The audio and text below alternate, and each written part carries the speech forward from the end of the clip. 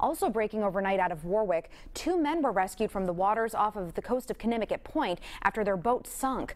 Warwick fire officials tell us the men in their 30s were traveling from Riverside to Newport in their 17 foot boat when it went when it took on water.